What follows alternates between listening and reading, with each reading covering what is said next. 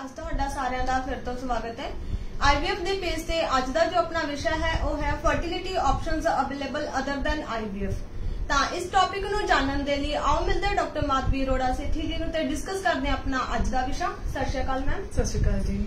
ਜਿਸ ਤਰ੍ਹਾਂ ਮੈਮ ਅੱਜ ਦਾ ਜਿਹੜਾ ਆਪਣਾ ਵਿਸ਼ਾ ਹੀ ਹੈ ਫਰਟੀਲਿਟੀ ਆਪਸ਼ਨਸ ਦੇ ਰਿਗਾਰਡਿੰਗ ਤਾਂ ਮੈਮ ਅਸੀਂ ਪੁੱਛਣਾ ਚਾਹਾਂਗੇ ਕਿ ਅਗਰ ਕਿਸੇ ਪੇਸ਼ੈਂਟ ਨੂੰ ਨੈਚੁਰਲੀ ਕਨਸੀਵ ਨਹੀਂ ਹੁੰਦਾ ਤਾਂ IVF ਹੀ ਇੱਕੋ ਆਪਸ਼ਨ ਹੈ। नहीं, ऐसी बात नहीं है। अगर किसी का नेचुरली कंसीव नहीं होता तो हम यू नो डिपेंडिंग उसका क्या मेडिकल रीजन है, उसको क्या प्रॉब्लम है फीमेल को मेल को, उसके हिसाब से हम और ट्रीटमेंट ऑप्शन भी पेशेंट को दे सकते हैं। जैसे आईवीएफ से लेस कॉस्टली ट्रीटमेंट रह जाता है आईयूआई इवन हम आईयूआई कर सकते हैं। हो सकता है किसी का कोई बड़ा एंडोमेट्रोटिक सिस्ट है या कोई और ओवेरियन सिस्ट है तो हो सकता है सिर्फ़ सिंपल लैप्रोस्कोपिक सर्जरी से ही हम वो सिस्ट निकाल दें उसके बाद पेशेंट नेचुरली कंसीव कर जाए। काफ़ी बार आ, काफ़ी बार तो हम पेशेंट के साथ सिर्फ़ बेसिक इन्वेस्टिगेशन करा लेते हैं नेचुरली कंसीव नहीं हो रहा था। जैसे हम पेशेंट का एचएसजी करते हैं ट्यूब्स टेस्ट कराते हैं। सो so, कभी कभार हल्की फुल्की सी रुकावट रहती है जो ट्यूब्स में कभी कभार एचएसजी करने से वो खुल जाती है और उसके बाद next cycle patient spontaneously conceive कर जाता है नेचुरली ही।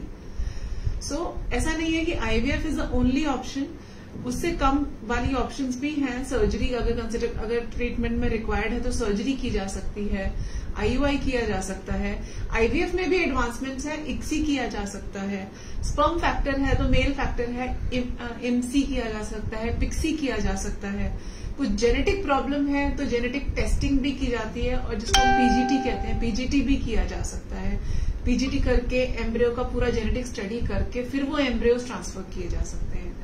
अगर यूट्रस में मेजर प्रॉब्लम है तो even surrogacy is an option सबसे लास्ट मतलब you can't say last option but required option is one of the option is also surrogacy but surrogacy को लेकर नॉर्म्स वगैरह काफ़ी स्ट्रिक्ट uh, हैं तो उसके हिसाब से according to the guidelines patient उस कैटेगरी में फॉल कर रहा है कि नहीं वो उस हिसाब से किया जाता है.